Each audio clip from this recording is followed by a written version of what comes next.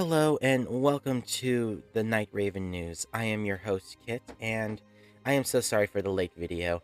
Not fishing for condolences, but my grandmother passed away, and I had to make funeral arrangements, and the memorial was the other day. But on a more positive note, I discovered my pastor is obsessed with medieval weaponry, and literally has a helmet and a sword in his office at church. So, as an anime fan, I can appreciate a man of the cloth with weaponry. but as for this month, it's going to be light. On March 4th, Twisted Sumterland will drop, and this will be the main event for this month. The Tsum Tsums have invaded Night Raven College, and we must deal with them. Tsum Sitter, Azul, and Kalim will be on Showcase, along with Ortho and Rook.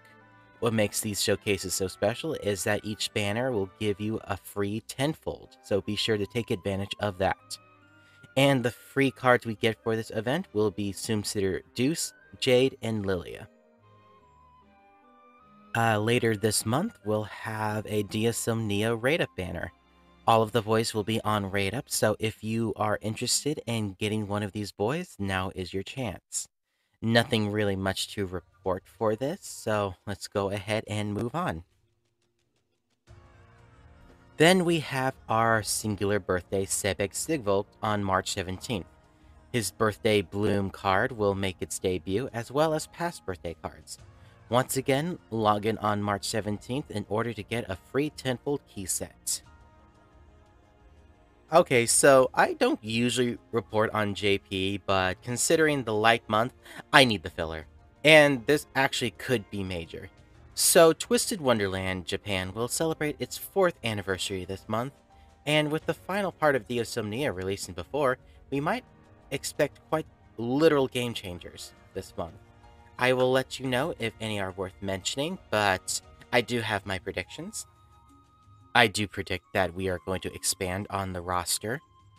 Uh, we kind of already have with uh, Pro League being released and also Rollo, but I do think that we're going to be introduced to even more characters, especially from, uh, what was it, the Royal Sword Academy. And I know we would all love Prince Real to make a debut, or some of us. Okay, me. I I'm excited to see Prince Real, but that's that's not the point. But yes, once again, I'll just keep you posted on anything cool happening. And that about covers this light month.